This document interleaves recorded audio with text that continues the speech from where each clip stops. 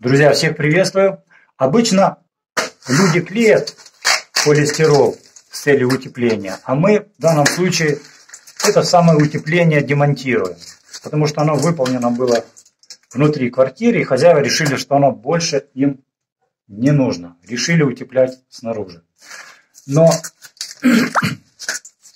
оказывается, оторвать полистирол приклеенный не так уж легко. Как это делать, мы сейчас вам и продемонстрируем.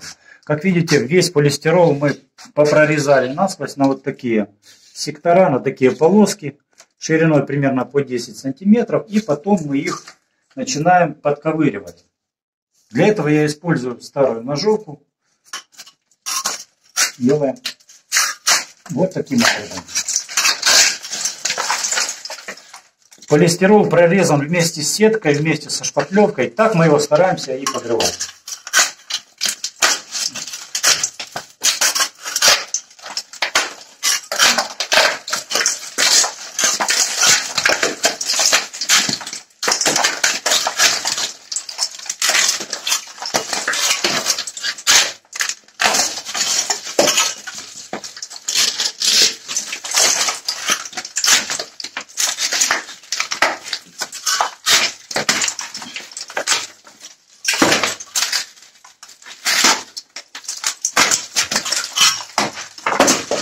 Как видите, грибки остаются и они мешают, если они были использованы. Как видите, делают они быстро. Вот этот участок, который уже мы вскрыли, на него пришлось потратить где-то пару часов.